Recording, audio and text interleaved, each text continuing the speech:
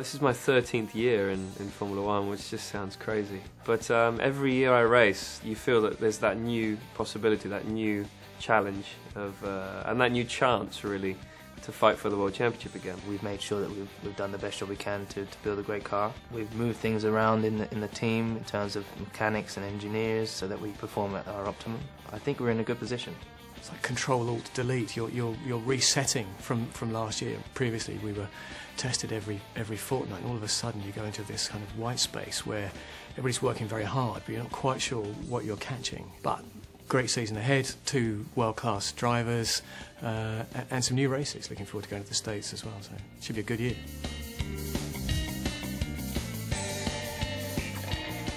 I think going into a new season, you've always got to be very positive. Uh, otherwise, what's the point? You know, I think uh, when you're working with this many people to produce a car, there's got to be a lot of positive energy. I'm constantly asked how confident I am going into a season, but you can never really be too confident. I think you have to always um, remain calm and, and just make sure you've prepared yourself well. That's that's the best way to approach a season. It looks a little bit different to last year's car, even though it is an evolution of the previous year's car. Um, but just optimised in certain areas where it wasn't so strong last year. All the time we're, we're improving Formula One cars. So there are many things on this car that are different to last year because we've just taken it to another level. And for me, it's something that's always been key and very important is to be in the right position in the car, be low enough in the car, feel that you're part of the car. During the course of the year, we discover things about the car, things that we might like to do that we probably wouldn't have time or scope to change. If we want to make a fundamental change to the chassis or a repositioning of the gearbox, or then those kind of changes involve so much time and effort. So we, we harvest that up during the course of the year and go right, you know, come the Revolution Brothers, we'll get all that on the on the car. But then again, there are step changes, step changes in regulation, and uh, we have an important one this year where the FIA have uh, sought to reduce the impact of blown downforce or the way we use the exhaust gas um, to generate performance from the car. I find the, the technical side of, the, of, of Formula One fascinating. All these different designers in different departments design all these components and how they all come together in January, and then you slot it into the car perfectly. It's a phenomenal process, I think. We're always looking to improve a part, strengthen a part, make the part um, either more aerodynamic or lighter um, or more user friendly. Sometimes you sit in the car and they tell you about something new.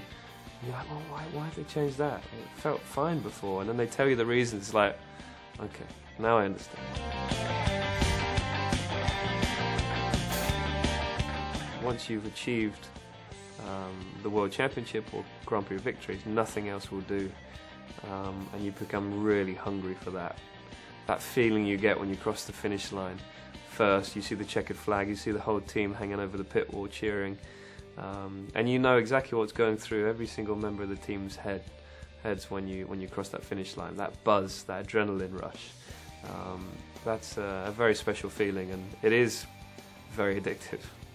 Trying to perfect everything, trying to make sure you have everything in place going into a year there's so much, so many elements that, uh, so many parts of the puzzle to make things uh, perfect.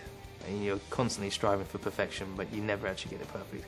But that that journey to try and make that journey to that goal is quite a lengthy, steep hill, and every year you uh, you attack it in a slightly different way, but hopefully uh, come out with better results. As a driver, you have to try and look at all areas to, to improve on. There's uh, obviously your physical condition, there's your diet. There's so much time to be gained at the start of the race, for example, so making sure that your reaction times are improved and training very, very hard. I'm very happy with the progress I've made, and I'm, very, I'm very positive at the moment in terms of what I can achieve, and also very positive about what the team can achieve. We win and we lose together, and, uh, and that's why we're a team.